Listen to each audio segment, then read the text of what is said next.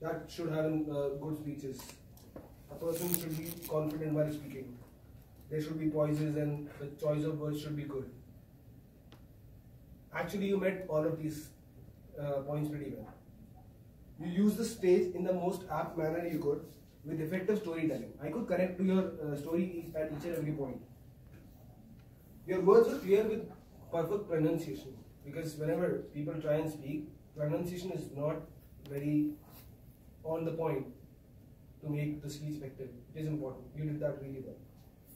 The choice of phrases and words like goes and grows when you use that, it was actually a very good connection. I first I couldn't connect that, and then I really okay, that's actually two phrases. Can do that. And this this one I would say that when there are two words sounding similar, try and make it more uh, use more voice modulation, so that will make the delivery effective. And uh, you starting your speech with your introduction saying about India, describing it. When you said finger licking food, I could actually realize it and I was feeling more hungry because I didn't have good food this morning. My girlfriend made spicy food.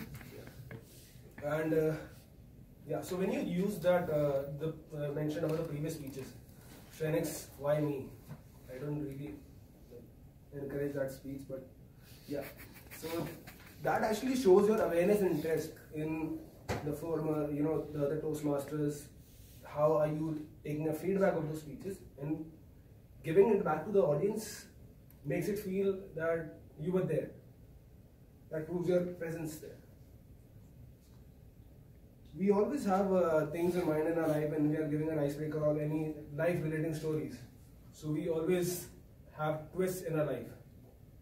But you don't mention that. You did that really well.